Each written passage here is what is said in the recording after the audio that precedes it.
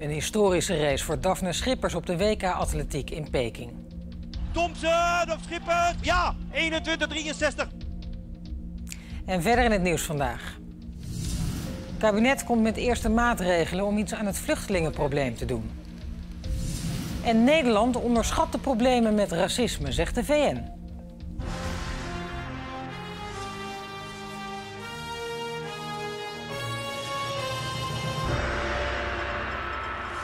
Goedenavond. Ze is de eerste Nederlandse vrouw die het doet. Goud winnen op de wereldkampioenschappen atletiek. Daphne Schippers maakte de hooggespannen verwachtingen helemaal waar in Peking. Op de 200 meter met een Europees en een Nederlands record. 21.63, de snelste tijd van de afgelopen 17 jaar. En weg is ze. Is dit de gouden race van Schippers? Ze gaat goed in de baan boven haar Macron. Schippers houdt daar ietsje in en moet dan uitrollen. En komt hier met een achterstand. Maar Schippers nu op dat laatste stuk. En in de baan naast haar alleen Thompson. Alleen Thompson op de laatste meter van Schippers. Thompson op Schippers. Het is, ja, hier is het. Wereldkampioen over 200 meter. Wat een schitterend resultaat. Op vrijdag 28 augustus 2015. Een ja, subliem moment in de sporthistorie van Nederland. Ja, 21, 63. Het is ook een Europees record. Het is ook een Europees record. Dat zou je bijna in alle euforie vergeten. Ja, oh, ik ben gewoon uh, wereldkampioen. Het is echt heel bizar dit. Uh, en dat met zo'n tijd. Europees record, Nederlands record en gewoon de winnaar. Zijn na de 100 meter niet zo onmogelijk, dat blijkt. Ja, maar ik uh, hoopte onder de 22 te lopen. Ik dat ik dit liep, maar dat was echt heel bizar. Ja, ik kan het echt nog steeds niet geloven. Ik moet, ik moet allemaal nog wel een beetje bezinken, ja. Eerder dit jaar besloot Daphne Schippers definitief over te stappen van de zevenkamp naar de sprint. Met een zilveren medaille op de 100 meter en nu dus deze gouden plak op de 200 meter sprint. Lijkt een nieuw sportidool geboren. En dat was ook te merken op haar oude atletiekclub Hellas in Utrecht. Twee uur vanmiddag. Jara en Guusje, aanstormende talenten, trainen voor hun wedstrijden van morgen. Vooral Jara's kracht ligt ook op de korte afstand, met de beroemde oud-clubgenoten als inspiratiebron. Zij is fantastisch, zij is supergoed, zij is een voorbeeld en uh, ze komt hier vandaan en dat is gewoon super vet. En ze loopt zo goed en zo mooi en uh, ja, ze verbetert zich steeds, ze wordt steeds beter. Om vijf voor drie schuiven de meiden aan in de chockvolle kantine. Het wordt vier voor drie, drie voor drie, twee voor drie, één voor drie, start. En weg is ze. Is dit de gouden race van Schippers? Ze gaat goed. Schippers houdt daar ietsje in en moet dan uitrollen. En komt hier met een achterstand. Maar Schippers nu op dat laatste stuk. En in de baan naast haar alleen Thompson. Alleen Thompson op de laatste meter van Schippers. Thompson op Schippers. Het is nou, nou, nou. Ja, 21-63. Hier is het wereldkampioen over 200 meter. Ja, echt super gaaf. Ja, dat is echt fantastisch. Het is niet normaal dat ze zo hard heeft gelopen. En het is gewoon wereldkampioen, dat kan je niet gewoon zeggen. Dat is super vet. Dat geeft zo'n enorme boost in de, in de vereniging met uh, zo'n boegbeeld te hebben. En uh, ja, iedereen kan er weer tegen, tegenop kijken. Het is wel zo dat er nu een clubrecord staat, hè? 21-63. Ze geeft gewoon het gevoel van als zij het kan, dan kan ik het misschien ook wel. Dus dan, ja, je volgt haar, je wil haar volgen. Iedereen wil dat. Ja, en om haar prestaties nog even in perspectief te zetten. Slechts twee vrouwen waren ooit sneller. De Amerikaanse sprinters Florence Griffith en Marion Jones. De laatste gaf later toe dat ze doping had gebruikt. En van Griffith uh, werd het vermoed. Schippers kreeg na afloop van haar race ook vragen over doping. Maar ze zegt 100% schoon te zijn. En dan het vluchtelingenprobleem. Nu dat in Europa steeds nijpender wordt, komt ook Nederland met een aantal opvallende nieuwe maatregelen. Minister Ploemen stelt geld beschikbaar, 60 miljoen euro voor Jemen, Irak en Syrië, om daar mensen in de regio op te vangen. En staatssecretaris Dijkhoff wil meer opvang voor vluchtelingen in Nederland. Het kabinet trekt er 250 miljoen extra voor uit omdat er meer mensen asiel zullen aanvragen. Dat staat wel vast. We gaan naar Xander van der Wulp in uh, Den Haag. Ja, het kabinet komt dus in actie. Ja, ook uh, premier Rutte leek vanmiddag duidelijk te willen maken dat het uh, vluchtelingenprobleem echt bovenaan de agenda van het kabinet staat. Er was de laatste tijd uh, natuurlijk wat kritiek dat het zo stil was vanuit het kabinet.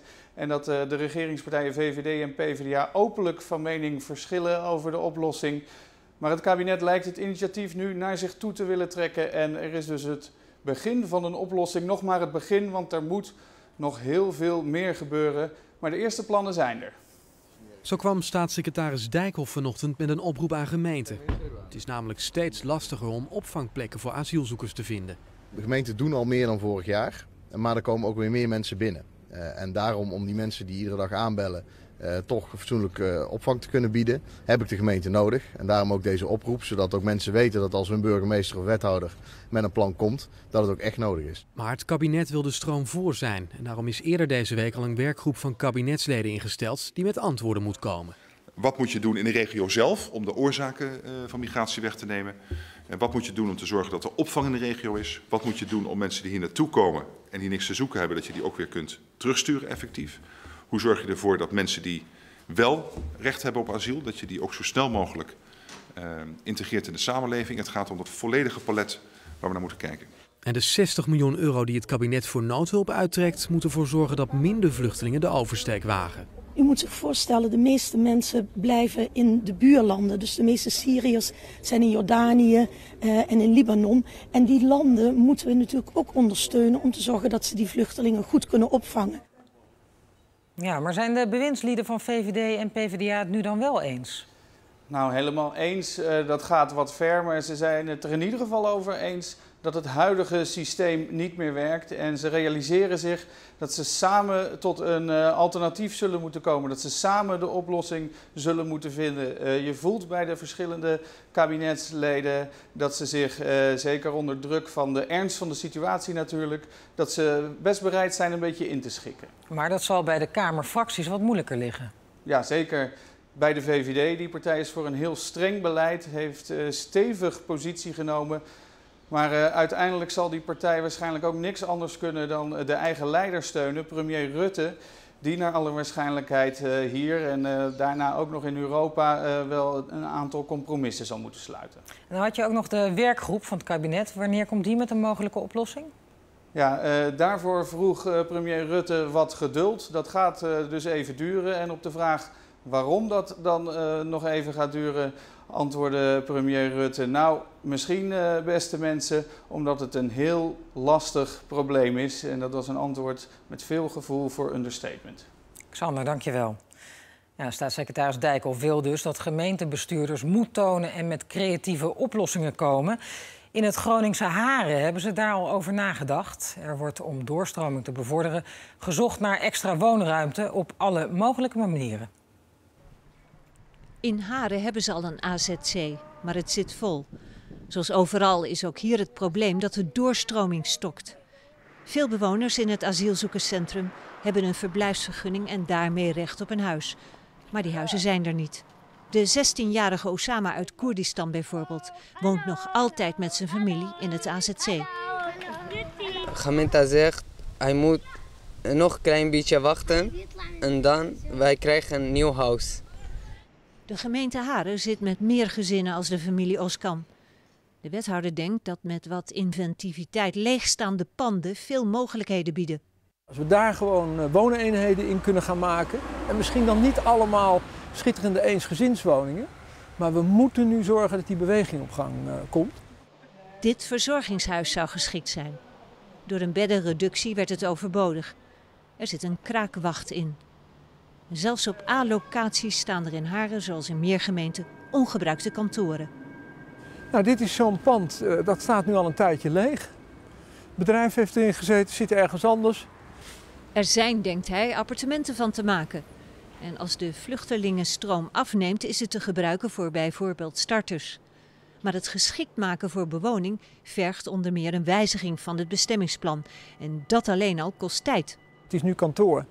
En dat zou naar woningbouw. Dus um, ja, hoe langer we wachten, hoe verder we het vooruitschuiven. Dus je, zo snel mogelijk moeten een paar beslissingen genomen worden. Dan kun je aan de slag. Haren bouwt hier een nieuwe wijk. Met een woningbouwcorporatie en met steun van het Rijk zou de wethouder hier een paar huizen willen opkopen voor vluchtelingen.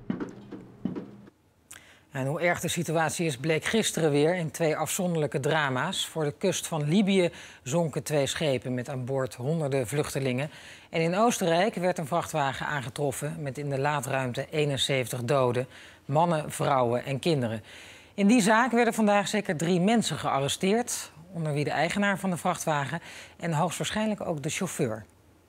Bij diesen 71 Personen handelt es sich um 59 Männer, es handelt sich um acht Frauen und um vier Kinder, davon ein ein- bis zweijähriges Kleinkind, ein Mädchen, äh, drei, acht bis neun, zehnjährige Buben. Het was een gruwelijke ontdekking gisteren. Tientallen dode vluchtelingen in de laadruimte van een vrachtwagen. Toen de vrachtwagen werd ontdekt, waren de vluchtelingen waarschijnlijk al bijna twee dagen dood. 71 mensen zaten op elkaar gepakt in een ruimte van hooguit 15 vierkante meter. Wir haben festgestellt, dass zumindest im Bereich der seitlichen äh, Lkw-Wände der Verkleidung äh, keine Luftzufuhr möglich war. Ob tatsächlich über das Kühlsystem des LKWs, ob über das Dach des LKWs hier Vorsorge getroffen worden ist, dass Luftzufuhr möglich ist, das können wir zum jetzigen Zeitpunkt nicht ausschließen, das können wir auch nicht bestätigen. Aber ich gehe davon aus, dass doch eine gewisse Wahrscheinlichkeit dafür spricht, dass die, die Menschen in diesem LKW erstickt sind. Vandaag werden de lichamen overgebracht naar Wenen voor identificatie. De politie denkt dat de vluchtelingen Syriërs waren. In de laadbak is een Syrisch reisdocument gevonden. Waarschijnlijk zijn de vluchtelingen het slachtoffer van een bende mensensmokkelaars uit Hongarije en Bulgarije. Bij dat andere vluchtelingendrama, de twee schepen die gisteren zonken voor de kust van Libië, wordt nog gezocht naar mensen. De boten zaten zeker 400 opvarenden. Sommigen zaten opgesloten in het ruim en zijn daar gestikt. Anderen verdronken. 200 mensen zijn gered. Veel spaarders gaan minder belasting betalen. De Belastingdienst ging er sinds 2001 vanuit dat alle spaarders 4% verdienden op hun vermogen. Maar het percentage ligt al jaren veel lager voor spaarders. Voor beleggers ligt het gemiddeld juist hoger. Daar wordt nu iets aan gedaan. Gemakshalve ging de overheid er jaren vanuit dat iedereen dezelfde 4% verdiende met zijn vermogen. Dat gaat veranderen. Dat cijfer wordt nu ieder jaar bijgesteld. En, politiek gevoelig, er komt een onderscheid tussen grote en kleinere spaarders. De nieuwe situatie. Het kleinere vermogen, tot 25.000 euro per persoon, wordt vrijgesteld van belasting. Die vrijstelling is met 4.000 euro verhoogd. Op een vermogen tussen de 25 en 125.000 euro gaat de Belastingdienst ervan uit dat er 2,9% rendement wordt gehaald. Ruim een procent minder dus dan in de oude situatie. Bij vermogens die groter zijn, kijkt de overheid ook naar wat de beurs doet. Tot iets meer dan een miljoen euro wordt uitgegaan van een winst van 4,7 procent. En voor alles daarboven rekent de Belastingdienst met 5,5 procent. Ruim 3 miljoen Nederlanders betaalt vermogensbelasting. 90% van hen gaat er met dit plan op vooruit, gaat minder belasting betalen. De rest, die een vermogen heeft dat groter is dan 240.000 euro, gaat meer belasting betalen. Justitie in Maastricht verdenkt 16 leden van motorclub Bandidos van lidmaatschap van een criminele organisatie. Ze worden verdacht van afpersing, drugshandel, witwassen en wapenbezit. In mei werden ze opgepakt bij een grote politieactie. Maandag horen ze of ze langer vast blijven zitten.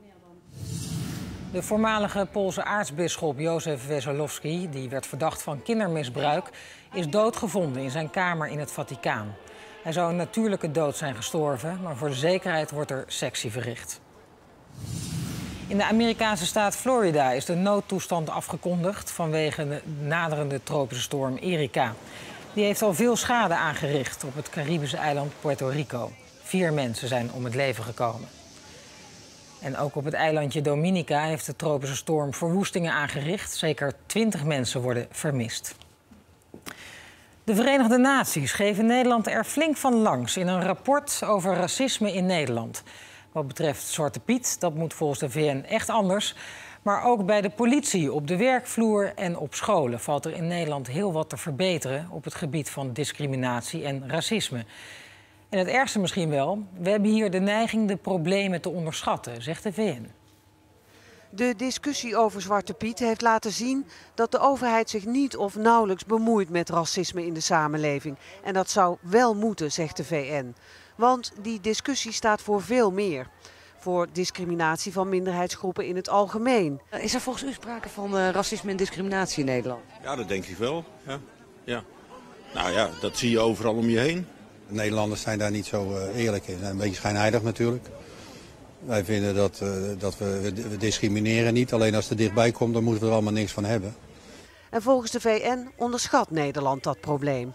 Het comité uh, van de Verenigde Naties zegt eigenlijk: jullie hebben dit probleem, maar vervolgens doen jullie er niks mee. En in feite hebben we zelfs de afgelopen jaren heeft de overheid zich nog meer teruggetrokken. Dus de overheid heeft subsidies afgeschaft, zodat minderheden daadwerkelijk hun, hun uh, bezwaren en hun problemen aan, aan de overheid kunnen vertellen. Um, er zijn bijna geen organisaties meer die dat daadwerkelijk kunnen. De overheid hier voert een beleid dat gericht is op alle Nederlanders, zegt de VN. Dat zou goed zijn voor iedereen, maar het gaat voorbij aan groepen die niet mee kunnen komen. Dat ziet ook Farid Azarkan van het samenwerkingsverband Marokkaanse Nederlanders. Dat merk je dat uh, de haat en uh, het aantal incidenten met uh, moskeeën, met moslims, met mensen van minderheidsgroepen, dat is, dat is echt toegenomen. zowel op social media als ook echt fysiek, dus bij moskeeën. Uh, we zien het ook in het feit dat uh, drie keer meer Marokkaanse en Nederlandse jongeren werkeloos zijn dan hun leeftijdsgenootjes. Uh, maar we zien ook dat er openlijk wel gediscrimineerd wordt, maar dat de overheid daar, als ze al iets doen, het blijft bij voornemens, bij plannen. Het vorige VN-rapport dateert van vijf jaar geleden. Ook toen was het al op veel punten kritisch. Het kabinet neemt het rapport van de VN serieus, maar Zwarte Piet is volgens premier Rutte geen staatsaangelegenheid. Jongens, volkstradities, come on. Uh, welke Sinterklaasliedjes jullie zingen, uh, hoe, je, hoe je kerst viert, hoe je Pasen viert. Daar gaat, gaat toch de politiek niet over. Misschien ben ik er iets te liberaal in. Wat ik belangrijk vind, is dat je zag achter die Zwarte Piet discussie... dat die, dat die pijn bij grote groepen in de samenleving over discriminatie, over racisme naar boven kwam. En nogmaals, hoe het ventje eruit ziet, is, is staat er wat mij betreft los van. Dat is, dat is een zaak hoe, de, hoe dat in de samenleving zo'n traditie zich ontwikkelt. Het gebruik van ecstasy onder jongeren is de afgelopen jaren fors toegenomen. En de pillen worden sterker. Maar jongeren weten eigenlijk weinig over de druk. En daarom komt Sieren met een campagne die het een en ander duidelijk moet maken. Ik heb drank en drugs. Ik heb drank en drugs. Alle tieners zeggen ja tegen MDMA. Lil Kleine en Ronnie Flex overdrijven in hun hit Drank en Drugs. Want niet alle tieners zeggen ja tegen MDMA, de werkzame stof in ecstasy. Maar het gebruik onder jongeren is wel sterk toegenomen en de dosering wordt steeds hoger. Dat kan leiden tot ongelukken, want de meeste jongeren hebben geen idee hoe ze met ecstasy moeten omgaan. Die ken ik niet. Top. En daarom begint Sieren vandaag een campagne. Gast, slik jij zomaar alles? We zijn tot 14 feiten gekomen en als de jongeren die hebben gelezen, dan zijn ze in ieder geval goed geïnformeerd over ecstasy en de risico's daarvan. Over lange termijn schade is weinig bekend, maar gebruik van ecstasy kan oververhitting en watervergiftiging veroorzaken. De drug maakt namelijk enorm dorstig. Meer dan 60% weet ook niet wat het risico is van te veel drinken. Als je gebruikt, maximaal 1 tot 2 glazen per uur en dat weten ze gewoon niet. En voor wie ondanks de gevaren toch wil gebruiken, altijd de pillen laten testen, zeggen experts. NOS op 3 maakt een interactief verhaal over ecstasy, waar de pillen vandaan komen, over gebruikers en dealers. Te zien via nos.nl of de NOS-app. Ze zijn weer terug in de bewoonde wereld in het westen van Spitsbergen. De 55 wetenschappers die de afgelopen 10 dagen onderzoek deden op Edjuya, een onbewoond eiland in het oosten van Spitsbergen. Bedoeling was om te onderzoeken wat de invloed is van klimaatverandering op dit gebied. Want nergens ter wereld gaat hij zo snel als op de Noordpool. Wetenschappers dus met allerlei verschillende achtergronden gingen mee op de expeditie. En daartussen ook Martijn Bink, nu dus weer op Spitsbergen. Uh, hoe ging dat op Edjuya met al die wetenschappers? het was heel bijzonder om met al die mensen tien dagen lang op dat schip te mogen verblijven. Met al die specialisten, met al die gedreven mensen. Een heel bond gezelschap. Waarbij de ene in extase raakte van de microben in het gletsjerwater. En de andere pas in beweging kwam als er een enorme walrus uh, rond ons uh, schip zwom. Een heel bond gezelschap dus. Maar ja, ze hadden allemaal wel één gemeenschappelijk doel. We hebben walvissenbot, een rendierenkaak, een dode vogel, schelpjes en vijf drollen van een ijsbeer. Hoe ruikt ijsberenpoep? Hier, steek in. Nou, ik ruik eigenlijk niet zoveel. Nee, het is minder erg als walrussenpoep, hè? Nou, dit is uh, Helvella acetabulum, een uh, schotelvormige bekerzwam. En wat er heel mooi aan is, is dat hij gitzwart is, maar dat hij zo'n korrelig wit uh, randje heeft, wat er heel fel mee contrasteert. Ze lagen op hun knieën, hingen overboord en tuurden uren in de lucht. De onderzoekers van de Poolexpeditie lieten geen steen onberoerd. Op zoek naar de invloed van menselijk handelen op de Noordpool. Deze geologen bijvoorbeeld, die denken dat af te kunnen lezen uit de bodemgesteldheid van dit kleine meertje. We weten dat klimaatveranderingen uh, eigenlijk van alle tijden zijn. Maar, maar de vraag is natuurlijk wat de bijdrage van de mens is, die er bovenop zit. Bovenop die natuurlijke verandering. En zo doet iedereen zijn eigen onderzoek op zijn eigen vakgebied. In de hoop dat al die kennis samen tot nieuwe inzichten zullen leiden. Nou, deze heb ik net uh, gevangen en in buisjes gedaan. Dus dit zijn die uh, zeevlinders. Heeft u ook iets van de archeologen geleerd? Nee. Van de geologen? Nee, daar, nee, nee. Ik heb eigenlijk dat, alleen iets van het, marine, van het marineteam geleerd. Black Guillemot. Er is de afgelopen dagen heel hard gewerkt door al die onderzoekers. In dit hokje bijvoorbeeld zaten 24 uur per dag mensen vogels te tellen. Toch blijf je je afvragen of de wetenschappers met deze expeditie echt meer te weten zijn gekomen over de opwarming van de Noordpool. Het zal niet zo zijn dat het hiermee ophoudt. Iedereen, is, iedereen heeft nu iets kunnen zien voor wat je hier kunt doen. En het doel van deze expeditie was niet om voor eens en altijd al het poolonderzoek stil te leggen. Het doel van de expeditie was om betere samenwerking te creëren en van meerdere kanten het allemaal te bekijken. En wat dat betreft hebben we onze doelen ook helemaal gehaald. Verse poep voor Nederland. Bijna vol. Ja, doelen gehaald dus, maar heeft het onderzoek al iets opgeleverd? Ja, ze zijn vooral verbaasd over de snelheid van de verandering in dit afgeleverd gebied. En dan gaat het vooral over de vegetatie, over de plantengroei. Dat de gletsjers smelten, dat er steeds minder zeeijs overblijft in de zomer. Dat weten ze al wel. Dat kun je ook aan satellietfoto's zien. Maar dat ook de plantengroei zo snel verandert, daar zijn ze echt verbaasd over. Ze kunnen dat ook heel goed vergelijken, want ze hebben hier 40 jaar geleden ook onderzoek gedaan. En nu blijkt dat op plekken waar het toen helemaal kaal was, dat daar nu opeens van alles groeit. En omgekeerd. Komt dat dan door de klimaatverandering? Dat is natuurlijk de volgende vraag. Of zijn er andere effecten die een rol spelen? Voor dat soort conclusies is het nog te vroeg. Al die informatie, die kisten vol informatie, gaat mee naar Nederland. En dan moet dat allemaal geïnterpreteerd worden. Ja, en ook veel ijsberenpoep in je reportage. Heb je er nog één in het echt gezien? Ja. we hebben er acht mogen tellen. Soms heel ver weg, een klein stipje op zo'n rotswand. Maar soms ook van dichtbij. En het was natuurlijk ontzettend indrukwekkend om zo'n enorm beest in het wild te mogen zien. Eh, ze gooiden soms ook roet in het onderzoekseten, want als er zo'n ijsbeer rondbliep op zo'n plek, en dan konden die onderzoekers niet aan land en ging het onderzoek niet door. Want ze vinden wetenschap allemaal leuk en aardig hier, maar een ijsbeer heeft altijd voorrang. Dat is natuurlijk ook wel zo veilig. En goed nieuws voor het thuisfront, we gingen met 55 wetenschappers van huis en we zijn met 55 weer teruggekeerd. Oké Martijn, dankjewel. En dan gaan we naar het weer, Marco. Mooi weekend komt eraan, of niet? Ja, het zag er vandaag al prachtig uit. Het was nog niet zo heel warm. De temperatuur gaat omhoog. En uh, over de daglichtperiode zal het hoofdzakelijk droog zijn dit weekend. En dat is dus goed nieuws. Uh, deze foto's gemaakt in Linschoten met mooie stapelwolken. Op een enkele plek hadden we vanmiddag nog een bui. Maar dat is er allemaal helemaal uit. Het is droog, het klaart breed op. En dan krijgen we een heldere avond en nacht. De satellietfoto laat zien hoe het allemaal in elkaar zit. We hebben een hoge drukgebied wat het weer bij ons wat meer begint te bepalen. Depressies in het noorden en op de Atlantische Oceaan. Deze bewolking is voorlopig nog niet voor ons weggelegd. En dat betekent dat het een rustige periode is. In de loop van morgen bereikt die bewolking wel het westen van Frankrijk. Daar kunnen een paar onweersbuien ontstaan. En misschien dat er ook een keer een onweersbui boven de Alpen ontstaat. Verder is het op veel plaatsen in Europa op het vasteland droog. Met wat wisselvalligheid nog wel langs de Noorse kust. Nou, die buien die komen geleidelijk aan wel onze kant op. Niet nog vanavond, maar wel morgenavond. Vanavond is het gewoon helder. Vannacht ook. Met temperaturen die flink omlaag gaan, 10 tot 13 graden de minimumtemperatuur. En dan kan er in het binnenland bij weinig wind ook wel een nevel- of mistbank ontstaan.